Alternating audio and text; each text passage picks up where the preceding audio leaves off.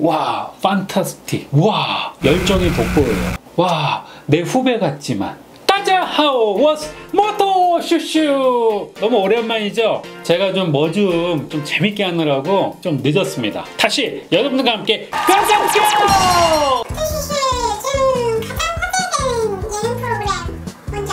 와 수업하죠. 걸스 우먼 파워. 인기예요 노제 같은 경우에는 1년에 광고 15개를 거의 다 채웠대요 이미. 그리고 립제이하고 모니카 선생님도 가장 핫하다는 아이폰 광고 찍었어.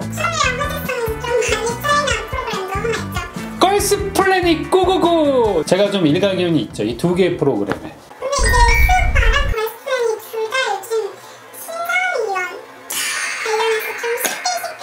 두 프로그램에 모두 아이돌이 심사위원이 나와요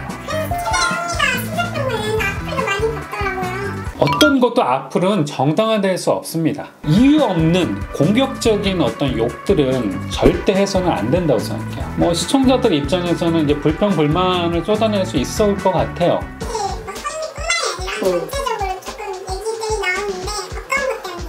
그 테크니션의 비중보다는 아무래도 아이돌이 시청률을 담보하다 보니까 그 둘의 얘기가 좀 많았어요. 오디션이면 노래는 이래서 못한다, 춤은 이런 게 이런 게 부족하다, 이래서 지적을 받고 떨어지면 시청자들도 아, 뭐 인정할 텐데? 어, 그런 게 아니고 뭐 끼가 부족하네, 어떤 아우라가 없어서 좀 약할 것 같다. 이런 주관적인 멘트를 하다 보니 그게 공감이 문제인 거죠 사실.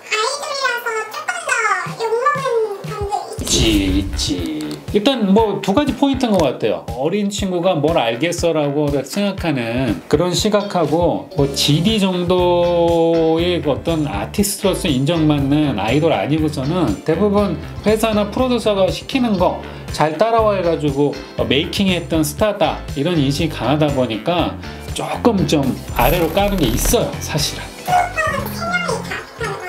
보아하고 태용이 어, SM의 댄스 선생이 또 이렇게 심사를 했단 말이에요. 이것도 똑같아요. 그러니까 사람들이 기대하는 그 심사평은 춤의 장르의 오리지널을 얘기해주고 거기에 어떤 creative가 들어갔다라는 이런 걸 얘기해줘야 되는데 여기서도 똑같아.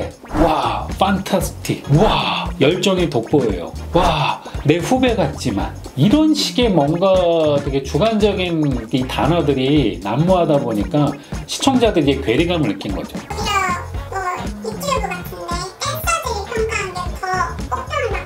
유명한 어떤 댄스 퍼포머들이 이거에 대해서 저랑 똑같은 말들을 하셨던 것 같아요. 마치 이건 것 같아요. 각각의 춤의 장르들이 있단 말이죠. waacking, locking. 마치 피자로 본다면 도우는 비슷할 수 있어. 근데 거기에 어떤 토핑을 넣느냐에 따라서 뭐 불고기 피자, 해물 피자 이게 장르가 나누거든요. 근데 현란하게만 한다고 춤을 잘 춘다. 이건 쉐시죠. 시청자들도 요즘 눈높이 장난 아니에요.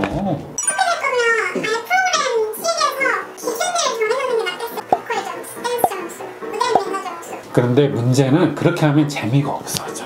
그러니까 아마 CJ도 이거 알았을 거야. 국가대표 가수 뽑고 뭐 어, 춤꾼 뽑는 거 아니잖아. 방송사는 시청률이 높아야지 그걸로 돈을 벌어요. 욕먹을 것도 나는 CJ는 예상했다고 생각해. 근데 그게 마케팅이 되는 거지. CJ는 이걸 즐겼을 것 같아요. 우리 오디션 프로그램에 심사 슈퍼스타 K 할 때는 뮤지션들, 뭐 휘성이라든가 거미 같은 가창력 컴피티션이니까 이게 딱 맞죠. 그러다가 프로듀서의 시대가 되면서 박진영, 양현석, 유열 같은 프로듀서 이런 애들이 나왔단 말이에요. 최근 들어서는 이제 아이돌이 되고 나와. 보아, 선미, 티파니 다 10년이 넘었어요. 태용이도 NCT에서 정말 엄청난 퍼포먼스를 보여주는 친구거든요. 그러니까 아이돌로서는 이 친구들이 정점을 찍었지만 프로듀서로서는 아직 신빙이에요. 근데 방송사가 그냥 이런 친구들을 그냥 딱 프로듀서 심판해 라고 몰아넣었다는 거 이거는 방송사의 책임도 없다고 할 수는 없어요 중국도 마찬가지잖아 그냥 다 아이돌은 선생님이야 자신이 직접 프로듀싱도 하고 작곡도 하고 작사도 하고 모든 토탈리 모든 걸 다 할 수 있는 아티스트가 아직 아닌데 대중들도 안단 말이죠. 근데 방송사는 너무 급해. 그러니까 공감이 안 되니까 이질감이 있어. 사실 아레나리 중요하죠. 아이돌은 선배고 그러니까 멘탈적으로 출연진들의 어떤 위기 관리나 아니면 멘탈 관리하는 그런 노하우들을 좀 보듬어 주면서 얘기해 주는 역할을 하고요. 테크닉이 필요한 심사를 한다라고 하면 정말 프로듀서나 아니면 선생님들이 나와가지고 그거에 대해서 해야 돼요. 아이돌이 시청률을 갖고 그 프로그램의 전문성은 전문 테크니션이 나와서 하는 게 있겠고 그래서 뭐 CJ가 이번에 스우파의 spin-off로 어 스우퍼에 출연했던 전문 댄서들이 멘토와 심사위원이 돼서 이 고등학생들을 뭐 어, 한다라는 그런 얘기를 제가 얼핏 들었거든요. 그런 거는 저는 좋은 어, 방법이라고 생각해요. 모니카는 진짜 춤 세계에 있어도 선생님 중에 선생님이거든요. 그런 진짜 선생님한테 고등학생들이 나중에 어, 춤의 어떤 그런 속성이나 미래를 배운다면 저는 그게 진짜인 것 같아요.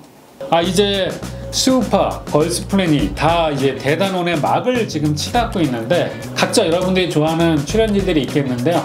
열심히 응원해 주시고 더 좋은 프로그램 나올 수 있도록 우리 또 한번 더 많은 관심 가져주시면 감사하겠습니다. 감사합니다.